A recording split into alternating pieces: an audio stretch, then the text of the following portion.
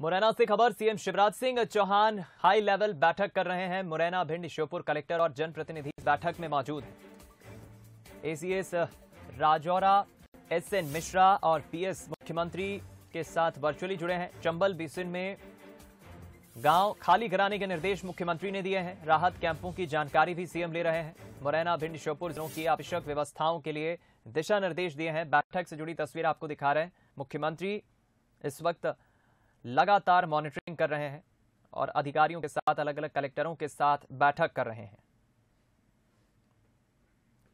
हम लोग करेंगे हमारे संवाददाता प्रहलाद सेन का फोनलाइन पर जुड़ गए प्रहलाद, काफ़ी महत्वपूर्ण बैठक ये हो रही है। क्या अपडेट? बिल्कुल जिस तरह से मुख्यमंत्री शिवराज सिंह चौहान ने पूरे ग्वालियर, चंबल, अंचल का बाढ़ प्रभावित क्षेत्रों का दौरा किया है और उसके बाद उन्होंने जो हालात देखे हैं, उसको लेकर उन्होंने वरिष्ठ अफसरों की बैठक बुलाई है। हाई लेवल ये बैठक है।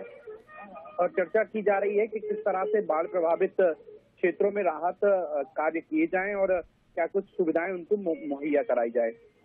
एसीएस राजौरा साहब भी उस बैठक में मौजूद हैं, वर्चुअली जुड़े हैं।